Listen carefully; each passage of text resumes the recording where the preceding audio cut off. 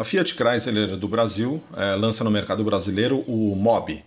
Fiat Mobi é o novo modelo subcompacto da marca, chega para substituir o Uno Vivace, né? E se estabelecer no segmento de carros 1.0, especialmente na faixa abaixo de 35 mil reais. É, existem versões do Mob com preços acima é, de 35 mil reais, porém é, até 35 mil reais provavelmente terá versões bem completas com ar condicionado, direção é, nessa faixa de preço que é o que a Fiat está pretendendo é, concorrer, né? Vocês podem ver que o Fiat Mobi tem essa essa tampa traseira do porta-malas ela é inteirinha de vidro. É, basicamente ela é inspirada na do Volkswagen Up europeu, né? O Volkswagen Euro, Up europeu ele tem essa tampa traseira do porta-malas de vidro e no modelo nacional a Volkswagen tirou por questões de custo e a Fiat Chrysler colocou no subcompacto dela aí. Esse carro aí acaba sendo menor do que o do que o Up, né? Ele tem em torno de 3,54 é, metros de comprimento. O, o Up MPI convencional tem 3,6 e o Up TSI tem 3,64. Então ele é em torno de 6 a 10 centímetros é, menor do que o Volkswagen Up e ele também é, traz um, uma linguagem estética bem diferenciada. Né? O Up é um carro com um desenho muito é, minimalista, né? com linhas é, limpas, sem muito rebuscamento, e o Mob ele, ele vem num sentido completamente oposto. Ele tem linhas muito rebuscadas, uma frente muito agressiva, a placa aí, né? Vocês estão vendo na parte inferior do para-choque. E uma coisa interessante que é o seguinte, o espaço traseiro dele é bem, bem interessante mesmo, sabe? É, é realmente foi incrível como que a Fiat conseguiu dar é, a um carro extremamente pequeno, menor até que o, o Uno, que o Up, um bom espaço interno. E aí vocês podem ver o painel que também tem soluções como volante com comandos multifuncionais. Esse sistema U-Connect que está em outros carros da Fiat. A gente vai, ao longo do vídeo, a gente vai mostrar mais detalhes é, internos né, do, do, do Mob. Né? Então, o Mob ele será vendido apenas é, com motor 1.0, né, não terá a, a, princípio, né, no lançamento, só motor 1.0 e é basicamente o mesmo motor 1.0 que está no, no, Uno, no Uno, né, então é um motor Fire 4 cilindros, não é um motor 3 cilindros, 8 válvulas, tem 75 cavalos. É, é um motor é, assim confiável, porém ele não é muito avançado, então ele acabou tendo um resultado em termos de consumo não muito favorável. É, o consumo dele em estrada com gasolina é de 13,3 km por litro e em cidade de 11,9 km por litro, tá certo? A gente vai colocar o link aí com dados específicos de consumo. E aí, novamente, uma versão Like On. Então, essa versão que a gente está mostrando, as duas, tanto, ó, vocês estão vendo o consumo aí, ó, em cidade 8,4 é, de álcool e 9,2 é, em estrada, né? Então, essa versão é, Like né, on, porque ela conta com. É a versão intermediária, né? Então você terá a versão easy, que é a versão de acesso, a versão like, que é a versão intermediária, e você terá também a versão way, é, que é uma versão é, com caracterização esportiva, é, aventureira, né? Aí essa versão like on, então ela já tem ar condicionado de comando manual, é, direção hidráulica, a direção não é elétrica. E vocês podem ver um porta-luvas, aí um painel que eu particularmente gostei mais do que o painel do Uno. Ele conseguiu um aspecto bem interessante. Vocês podem ver os bancos dianteiros também são é, inteiriços, da mesma forma que os bancos do Up, né? E eles conseguiram também, vocês podem ver os painéis de portas inteirinhos revestidos. Isso é uma, algumas pessoas fazem essas observações aí, ó, o espaço traseiro, tá vendo? Muito interessante, é, realmente é surpreendente é, pela dimensão externa do carro. O, o espaço que a Fiat conseguiu, né?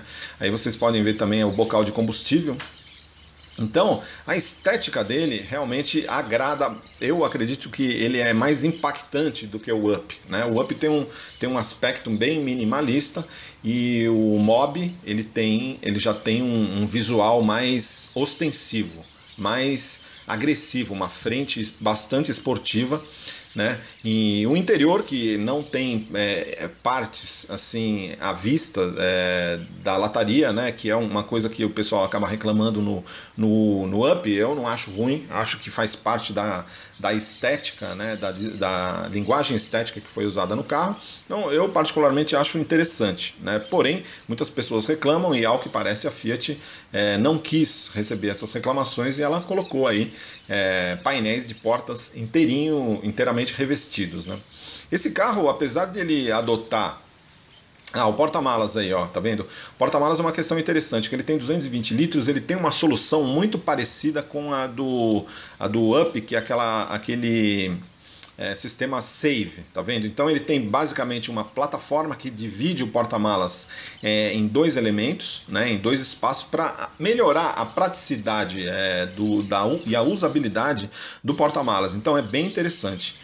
É, vocês podem ver que essa versão Like já conta também com sensores de estacionamento é, traseiros, né? então é bem interessante.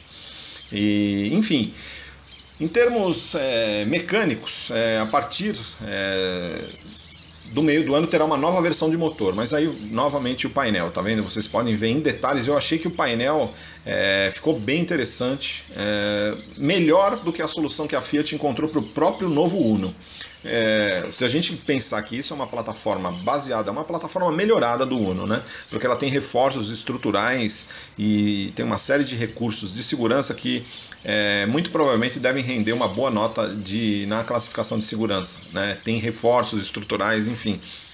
Então, o desenho interno ficou bem interessante, bem interessante mesmo. Nessa versão é, Like On, é, para vocês terem uma ideia, ela já virá com é, vidros elétricos, dianteiros, travas elétricas, é, direção hidráulica, né? É, enfim, e terá algumas opções bastante interessantes. Tá? O sistema, por exemplo, ele terá um, uma das opções do, do, do MOB seria, será um, um, um, sistema de áudio que ele é, permite, basicamente, ele não terá nenhum é, componente dentro do carro, mas terá os alto-falantes e você permitirá que você faça a conexão do seu smartphone com o sistema do carro e aí você pode tocar suas músicas, atender telefone, mesmo que não tenha nenhum é, equipamento efetivamente instalado no painel. Né? Então é, é uma solução assim bem interessante para a Fiat, né?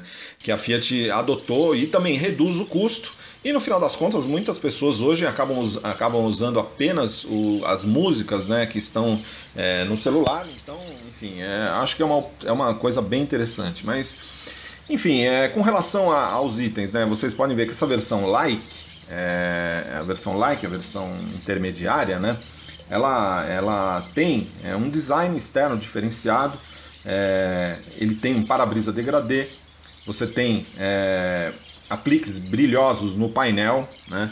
É, tem contagiros, alto-falantes é, e externamente você tem retrovisores e maçanetas pintadas na cor do carro, ah, acabamento na coluna B em preto, tá certo? Rodas de liga leve é, e tem dois pacotes de opcionais, que é o Tecno 1 com o sistema UniConnect, que é isso que a gente falou aí, que é, basicamente ele permite a conexão né, do, do, do, é, do celular ao sistema do carro e tem o, o pacote Tecno 2 que traz a central multimídia é, Uconnect, aquela que a mesma da Toro, né, já com o GPS, tá certo? Essa versão aí, é, a gente vai trazer os preços, depois a gente vai colocar o link aí, mas estão falando em torno da versão Like On é, básica, né, já com um ar-condicionado, direção, vidros e travas, enfim, na faixa de 37 mil reais. Pode ser que seja um pouco menos, né? E acima dela terá a Way, que é a versão topo de linha, né, já com aí um rack no teto, é, suspensão elevada, apliques laterais para melhorar é, a questão, é, dar aquele aspecto aventureiro ao carro, né? É, mas em, em, a suspensão do Way será 2 centímetros mais elevada, né? Então é o seguinte, a, a, o carro assim agrada bastante esse mob. Quem andar, é, quem as pessoas que andaram no carro é, me disseram que ele tem um desempenho melhor do que o do, o do, do Uno, pelo fato de é, ele ser mais leve. Né? Apesar do motor não ter, não ter sofrido alterações, ele, ele, ele, ele tem um desempenho melhor pelo fato de, de ter 50 quilos mais leve do que o, do que o Uno, né? Ele é menor e interessante assim que o espaço interno não foi prejudicado, pelo menos o espaço para os passageiros. Na realidade, a Fiat optou por reduzir o espaço é, no porta-malas, né? E aí vocês estão vendo o motor, é, o motor é um 4 cilindros, né, o compartimento do motor é um motor 4 cilindros Fire 1.0. Como a gente falou, é, a partir é, do final do ano e começo do ano que vem, o, o Mob estará disponível também com um motor GSE 1.0 3 cilindros 6 válvulas. É um novo motor tricilíndrico de alumínio é, da Fiat que deve melhorar bastante suas médias de consumo. Então, é, é, isso aí. Essa semana o carro já vai estar disponível nas concessionárias da Fiat para test drive e para vendas, né? A Fiat quer esse carro aí entre os três mais vendidos do mercado e a Fiat sabe vender é, carro no mercado brasileiro, né? Líder de vendas. É, eles sabem fazer os carros ao gosto do consumidor brasileiro, então eu não duvido nada, principalmente se tiver um preço nessa faixa que estão falando aí, é, será bastante competitivo, tá certo? Então o Fiat Mobi é, 2017. Então, assim, acho que se vierem os preços, né, quando os preços estiverem disponíveis, nós vamos colocar o link aí para uma reportagem é, que nós vamos colocar no blog. Por enquanto ainda não temos os preços oficiais, mas quando os preços oficiais estiverem disponíveis, nós vamos é, colocar o link aí com os valores. Mas os valores que estão sendo especulados hoje, vai em torno de 29 mil reais para essa versão de quatro portas Easy sem ar condicionado. Uma versão Easy completa, que não é essa daí, né, é, ela sairia a, vai, a 32 mil reais. Aí você teria a versão Mob On, já com ar-condicionado, direção hidráulica, é, é, Mob Like On, que é essa que a gente está mostrando aí, já na faixa de 37 mil reais. Para vocês terem uma ideia da competitividade de preço. Esse carro aí, ele teria mais, ele teria mais ou menos o mesmo nível de equipamentos, é, aliás, é, teria mais ou menos o mesmo nível de equipamentos do Volkswagen Up Move Up completo, né?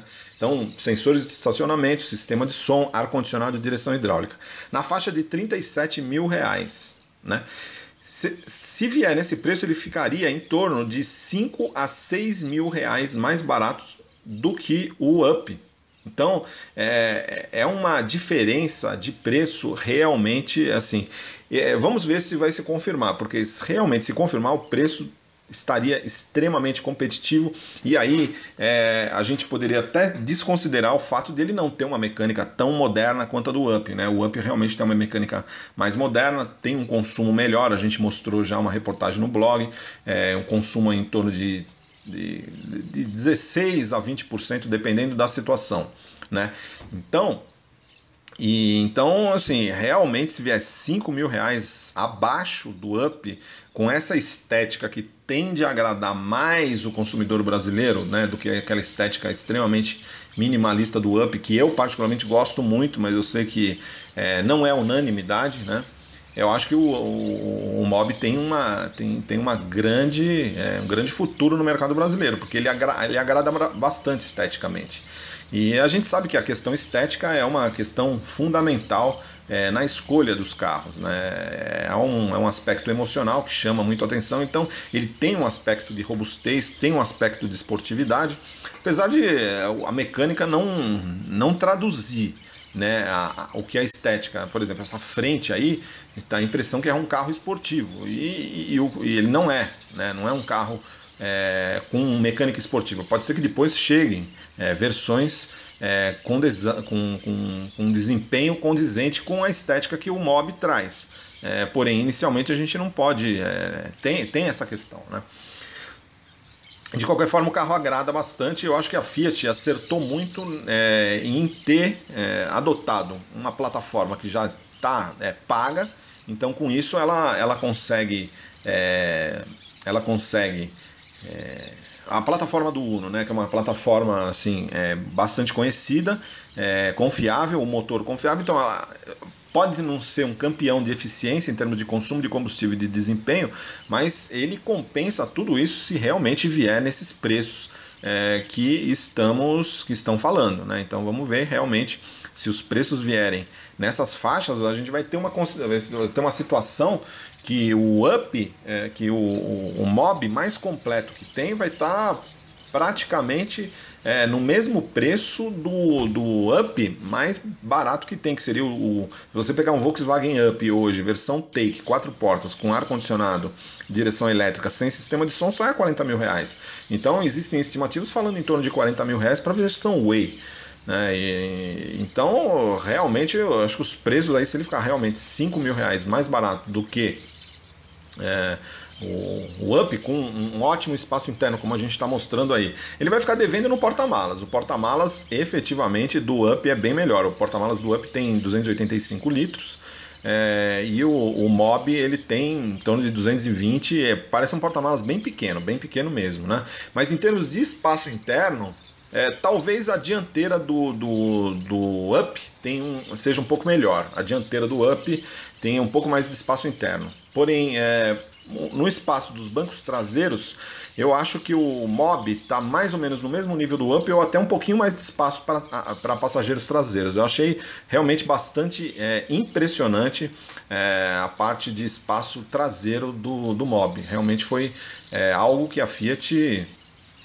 Olha aí, ó, vocês estão vendo, realmente é algo bastante é, impressionante. Como é que conseguiram essa solução de oferecer tanto espaço interno é, num carro tão pequeno. Né? Que o fato dele ser muito pequeno, ele também tem como vantagens é, questões como, aí vocês estão vendo, ó, o porta-malas novamente, né? o porta-malas é pequeno, tá? mas tem essa solução aí que é parecida com a do, a do, do Up, que é o, o Save, né? E é uma solução bem interessante, porque esses porta-malas desses carros subcompactos são muito altos e acabam ficando as coisas jogadas lá. Então, a hora que você coloca essa plataforma, principalmente quando você vai usar o carro para pegar compras de supermercado e tal, elas são extremamente interessantes. Organiza melhor, né? Organiza melhor o, as bagagens. Então, é, é, é um carro realmente que agrada, vai tende a agradar bastante o mercado. A Fiat tem uma rede de concessionários enorme, é, tem sabe vender carro, sabe vender carro com preço muito competitivo. Então, é, muito provavelmente o carro vai vai é, agradar em, em, cheio, né? E, então é isso.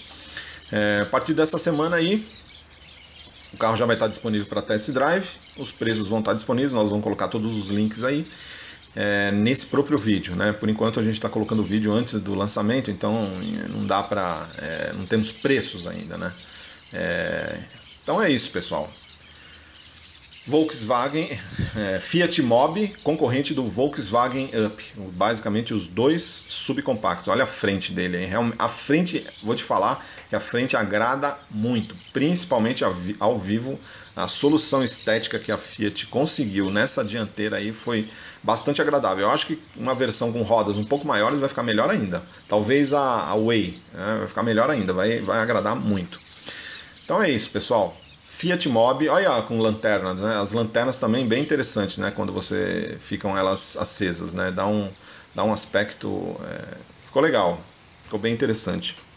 Uma coisa é a seguinte, ele não tem identidade muito com os outros carros da Fiat, né? A Fiat parece que não dá muita bola para essa questão de identidade visual entre todos os carros da marca, né? Ou talvez a frente tenha alguma coisa a ver com o novo tipo é, europeu, mas não sei. É, enfim.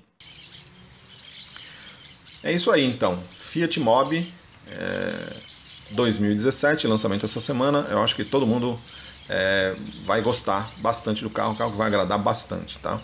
Um City Car com 3,54 metros de comprimento. Ah, uma coisa que eu acho assim, a Fiat poderia é.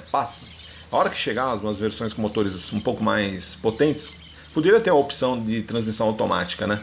Ou automatizada, como a como a, a Dual Logic, né? Porque um carro é, para ser usado em cidade, né? Ele é, cidades congestionadas, né?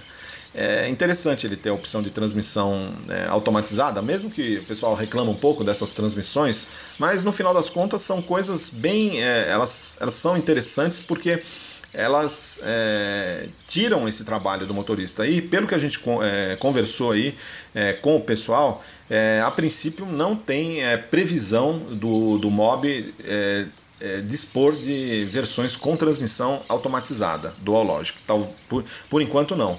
Mas é, aí, por exemplo, quem quer um carro com transmissão automatizada é melhor ficar com, com o Up iMotion. O Up tem a opção iMotion, eu sei que tem muita gente que reclama pra caramba, mas eu particularmente gosto daquela transmissão iMotion do, do, do Up. E o Uno tem, só que é com motor 1.4. Como esse é, Mob ele, ele, ele tem a opção de ter um motor é, maior, né, com esse motor 1.4, ele não é, por exemplo, o Up só dá para aquele, botar aquele motor 1.0 ou 1.0 turbo.